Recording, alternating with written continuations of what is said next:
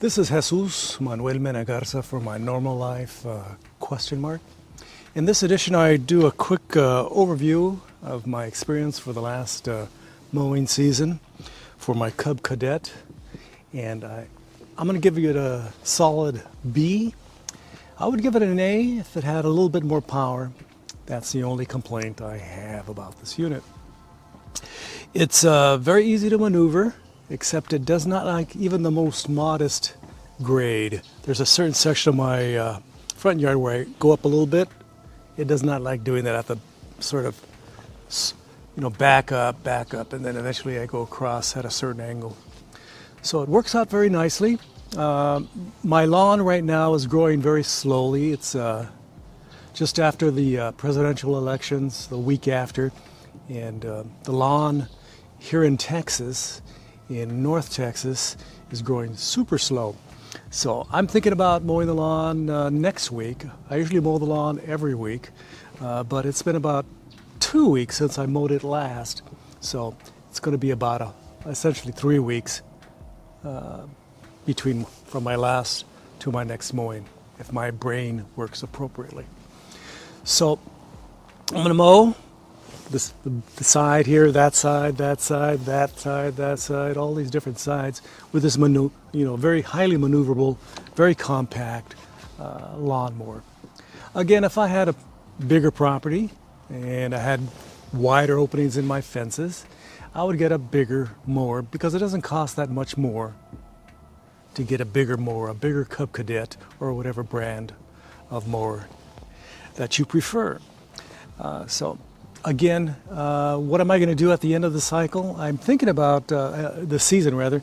Uh, I'm thinking about uh, trying to see if I can somehow get rid of all the gas from the engine so it's not just stale and stays in there. Either that or I'm going to have to turn on the engine every month and leave it running for about two, three minutes, and uh, eventually it'll probably run out.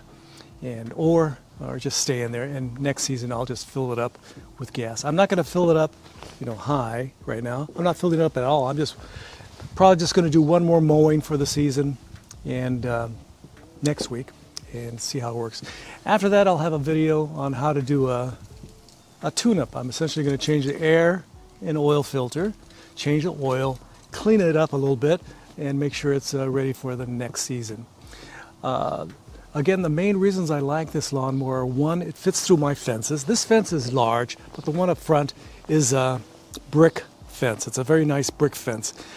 And it fits barely, sometimes scrape it on the sides if I don't do it right, about an inch on each side. So that's how I do it. I can go through the back alley and go around. I guess I could do that, but yeah, that's more of a hassle. So I'm very excited. And that's the number one reason I bought this lawnmower. I would prefer more power. I prefer a wider deck, but that's not possible with my modest home. And it also fits very neatly between my wife's Subaru and my Chevy truck in the garage. It gives us about good six inches on each side, so I can just park it between the two, and it could stay comfortably in my garage away from the weather and bad folks. You know, there are lawnmower thieves out there. I don't know who you are, but I'm keeping an eye on you, okay?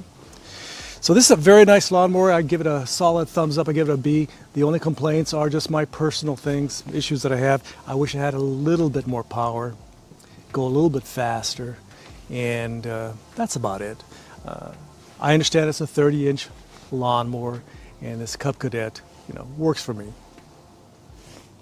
Hmm. I wonder where I got that hair from. Maybe from my head or my beard. Who knows? So from Fort Worth, Texas, I hope you're having a great time. Again, I'm at the tail end of the uh, mowing season here in uh, northern Texas, where you're at. It might be already over, and in other parts of the United States, it still has a ways to go. So again, from Fort Worth, Texas, don't forget to like, subscribe, and share. I would greatly appreciate it. And if you have any any any questions about this uh, Cub Cadet, feel free to comment below in the description. Leave your kind and super friendly comments below the description. Any suggestions? You know, I'm gonna, you know, I hope to have this for few, you know at least another five years.